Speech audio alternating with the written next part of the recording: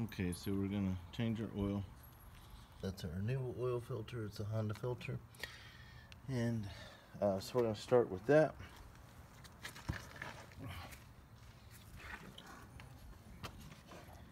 Get into the car here. Okay. Let me get in position. Okay, there's our oil filter. It's not to focus well, but uh,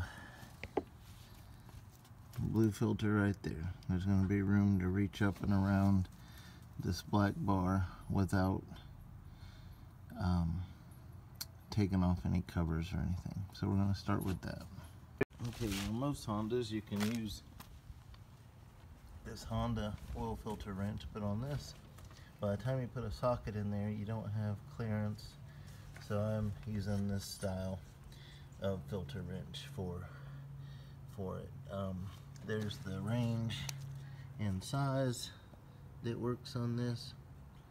So you can get something like that. We're going to get that oil filter changed.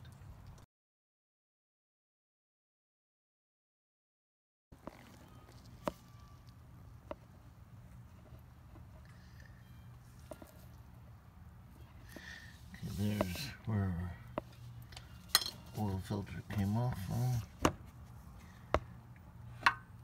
So gonna put our new one on. So I'm gonna do that now. I'm gonna need two hands. Then we're gonna drain our oil. Okay, so I have this Fumoto valve to drain the oil. So all I have to do is get my my oil pan right under there, and then I push in on the spring-loaded lever.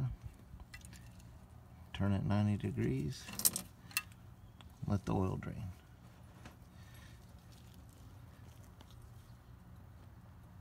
You don't know about the Fumoto valves, it's F-U-M-O-T-O and you it prevents you from having to take out your drain bolt and put it in. All you have to do once you install it is what I just showed you and then after that oil's drained we'll push in on the spring-loaded uh, valve and just rotate it 90 degrees and it'll be closed.